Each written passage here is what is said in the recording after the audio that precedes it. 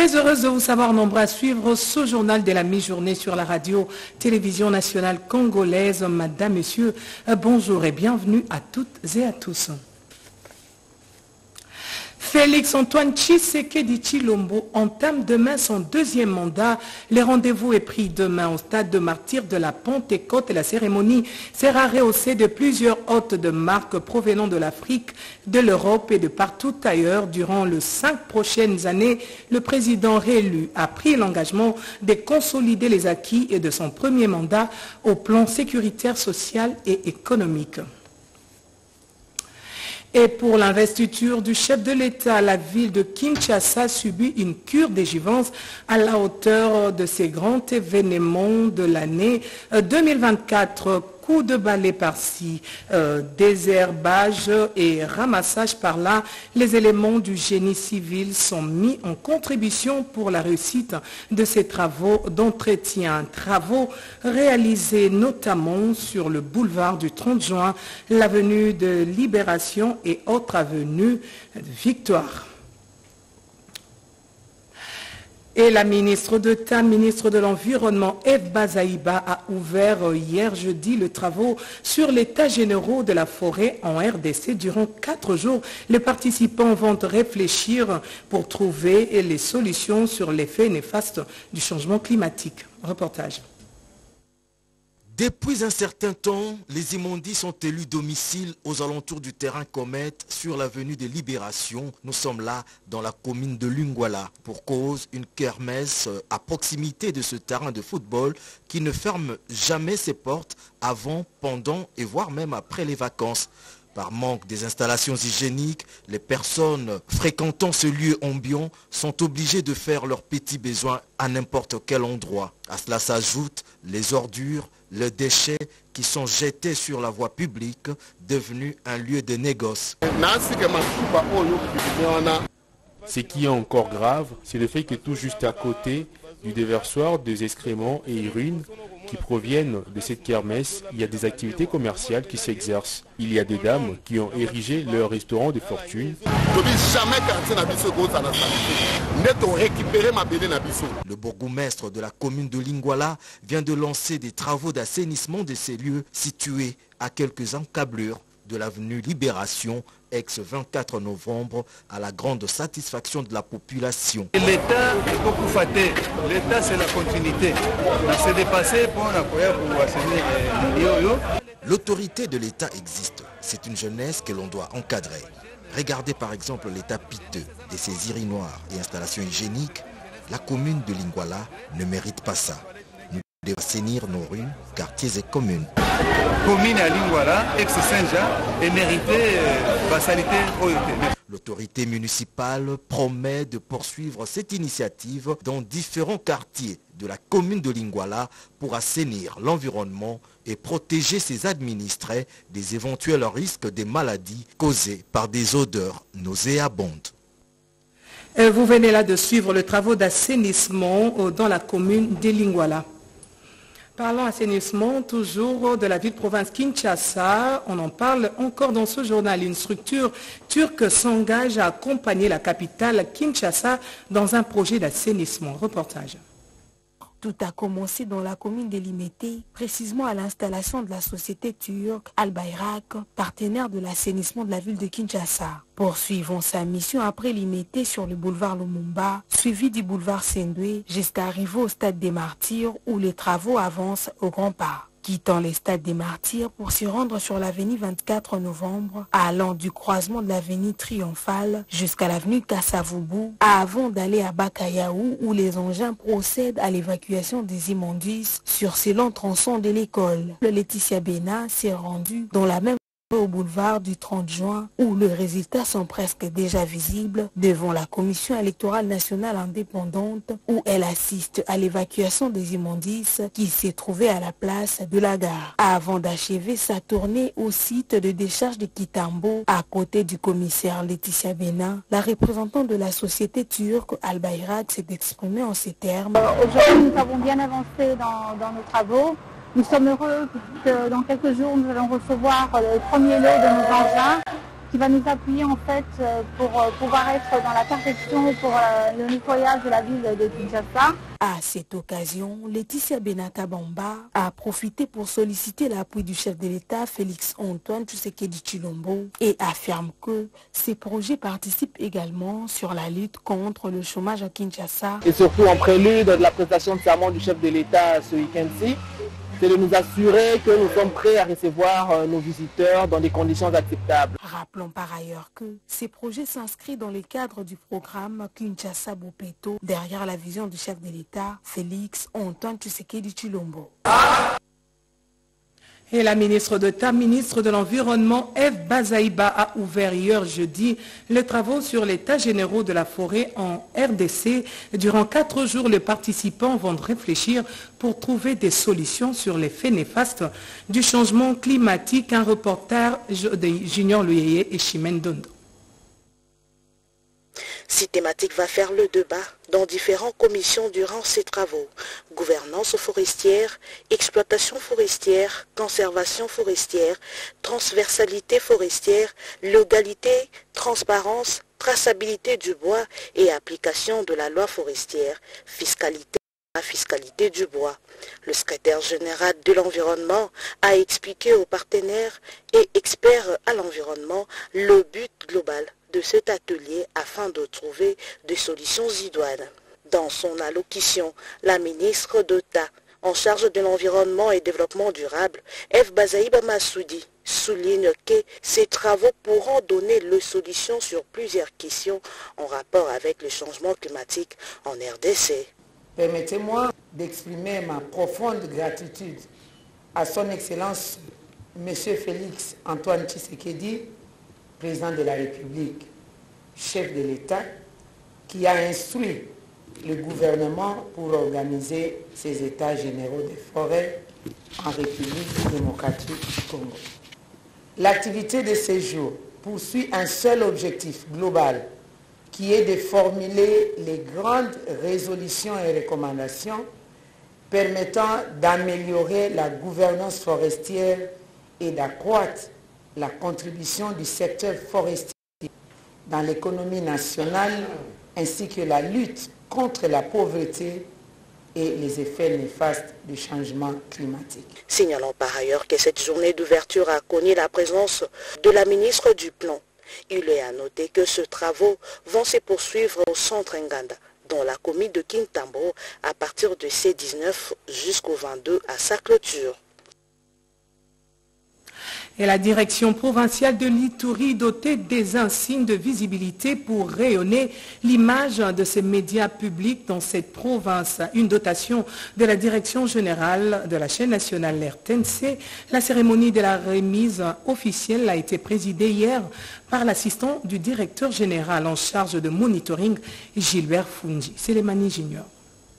Depuis sa prise de fonction, Madame le directeur général de la RTNC, plus déterminée à redorer l'image de cette entreprise tant sur le plan social que technique, c'est dans ce cadre que Sylvie Lengenyembo a dépêché au chef-lieu de l'Itourie son assistant en charge du monitoring pour la remise ce jeudi 18 janvier. Deux insignes à la station provinciale de la RTNC Itourie composés de gilets, chapeaux et coupe-vent, question de rayonner l'image de ces médias publics a dit Gilbert Fundi. Aujourd'hui, nous sommes à Bounia pour remettre ces premiers lots de gilets ainsi que les insignes de la radio-télévision nationale congolaise. Et c'est donc toujours l'optique du chef de l'État qui a la mission de pouvoir permettre à ce que nous puissions conserver les acquis du développement à travers la radio-télévision nationale congolaise. Et dans cette même logique, Madame Sylvie Lengue avec toute son équipe, vont permettre à ce que toutes les sous-stations de province de pouvoir bénéficier des outils ainsi que de matériel numérique et non numérique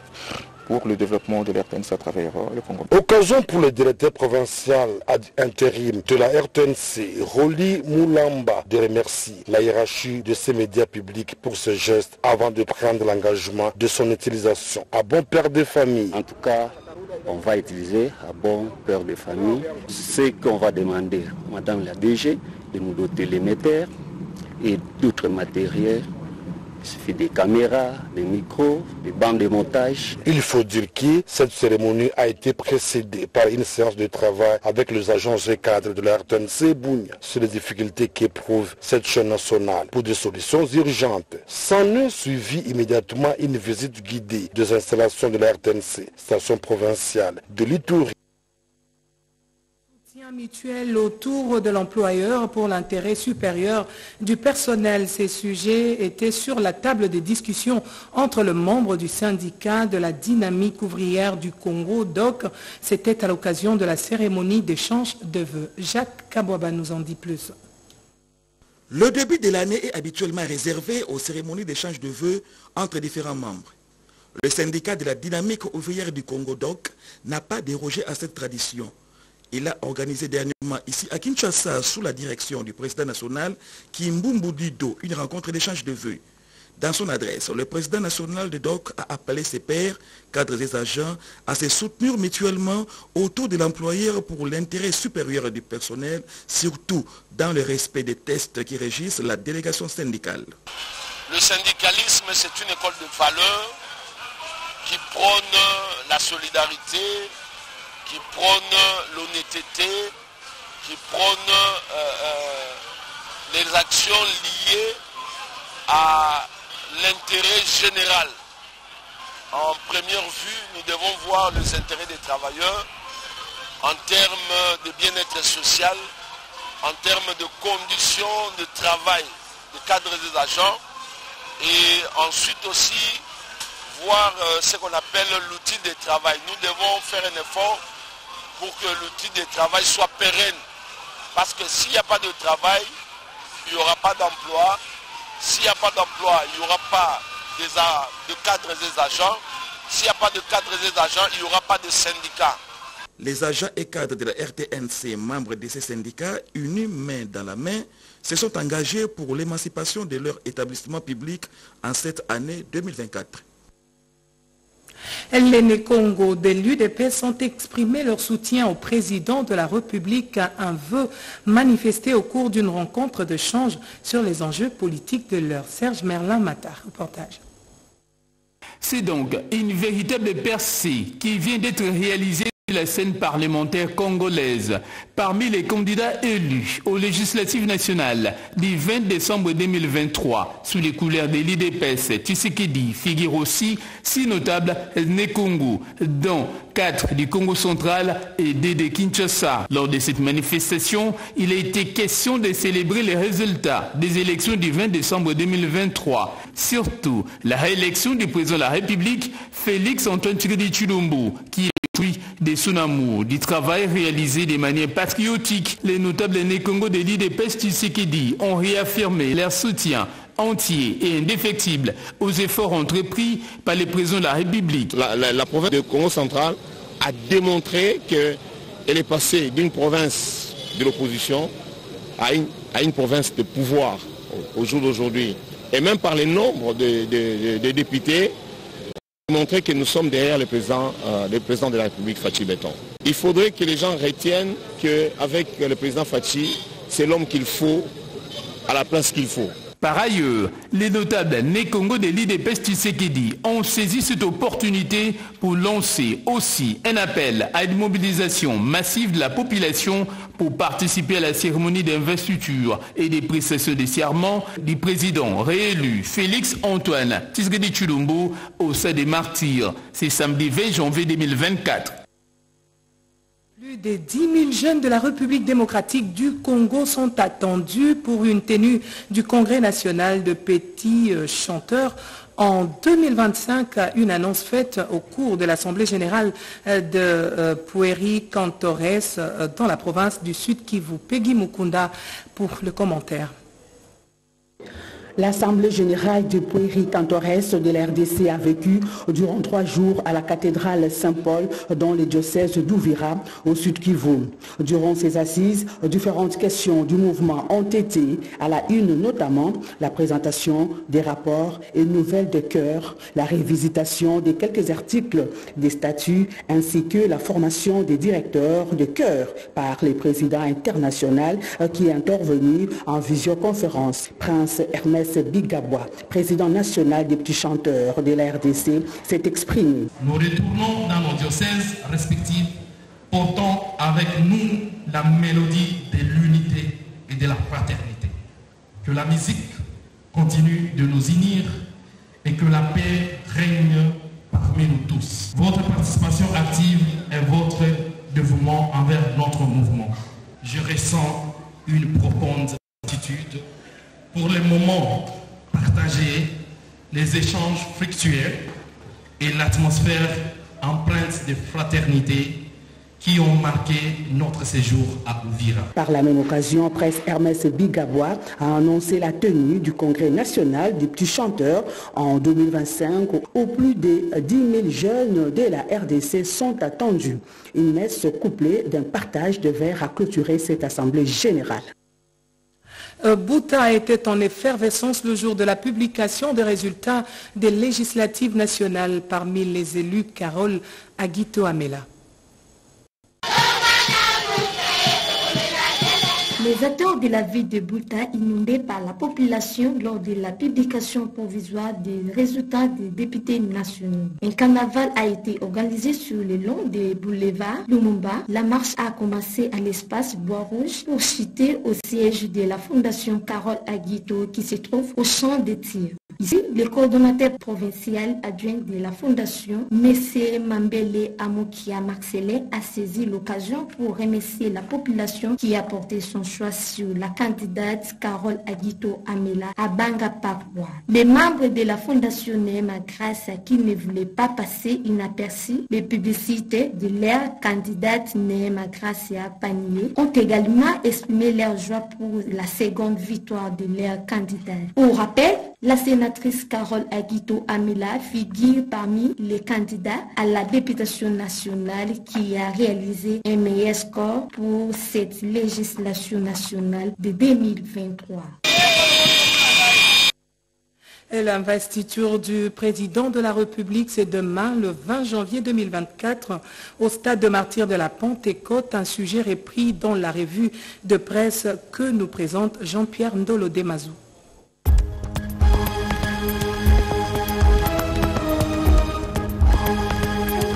Bonjour et bienvenue à cette revue de presse.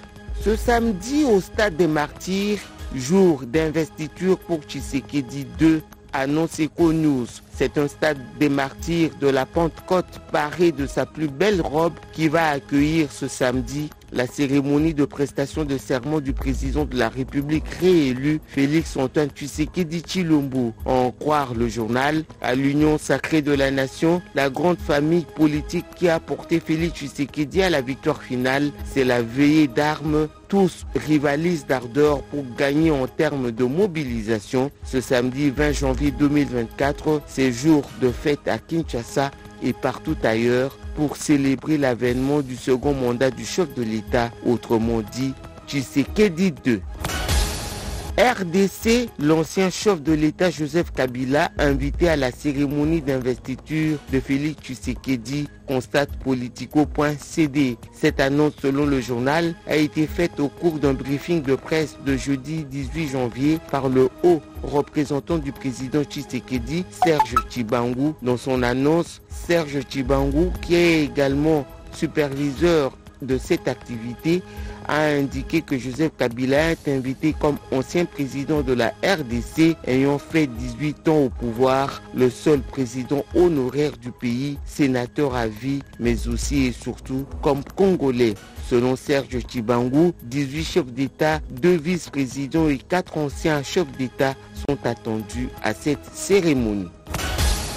Lundi 29 janvier 2024, les députés nouvellement élus invités à l'ouverture de la session extraordinaire titre l'avenir provisoirement élus députés nationaux aux élections législatives du 20 décembre 2023, écrit le confrère, plus de 450 élus du peuple doivent se mettre déjà au travail. C'est le sens de ce communiqué de presse signé le 15 janvier dernier par Christophe Mbosso, président sortant de l'Assemblée nationale. Cette séance plénière qui sera conduite par le secrétaire général à l'Assemblée nationale procédera notamment à l'identification des députés élus et proclamés provisoirement ainsi qu'à l'installation du bureau d'âge.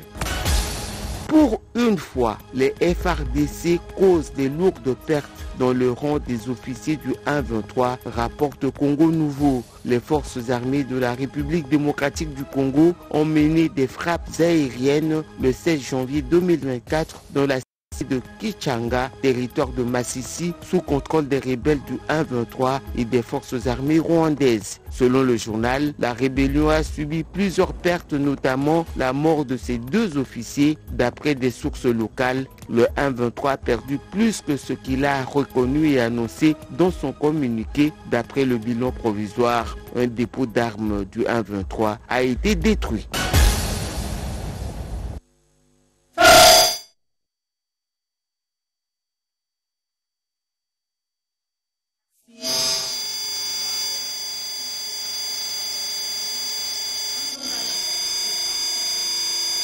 Tsabangoulou.